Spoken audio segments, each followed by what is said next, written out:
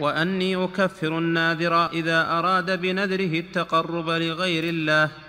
نعم هذا صحيح. من نذر لغير الله فإنه كافر لأنه صرف نوعا من أنواع العبادة لغير الله.